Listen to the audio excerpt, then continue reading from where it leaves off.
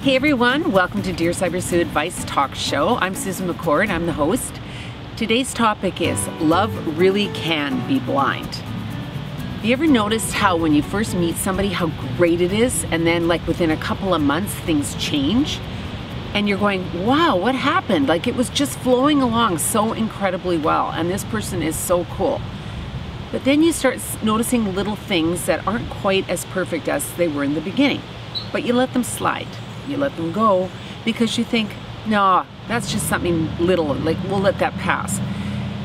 The thing that you have to do when you're getting to know somebody and you're in those first three months, this is the time to pay attention to any red flag at all.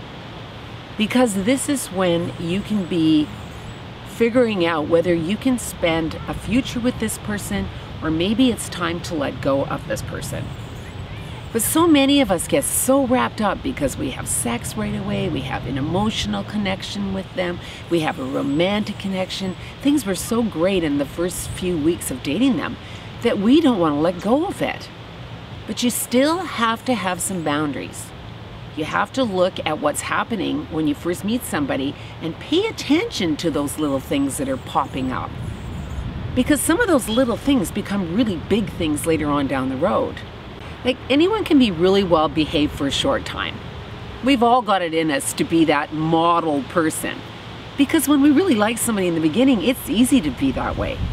And then all of a sudden, some of our true character comes out and we start showing a little bit more of who we are.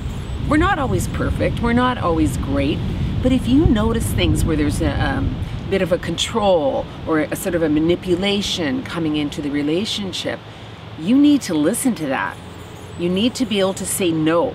Don't worry that they're not going to call you because you don't want to do something sometime or they, they ask something of you in a physical sense and you're not really ready to do that. Never be afraid to say no because this is your boundary, this is who you are.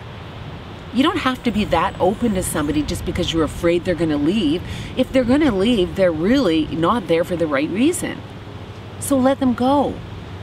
So when you're meeting someone new, yes, have fun with them. Don't sit there and look at everything as a bad thing, but pay attention.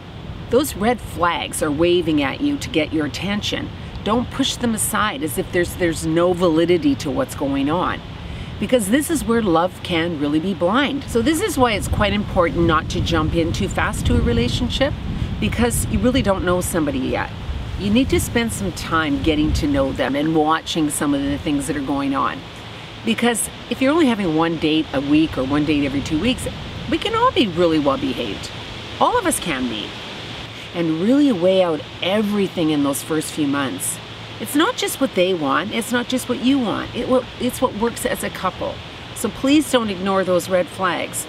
There's enough movies out there right now that are flipping around that show you how people can be very manipulative and be very sexy and hot and all those things.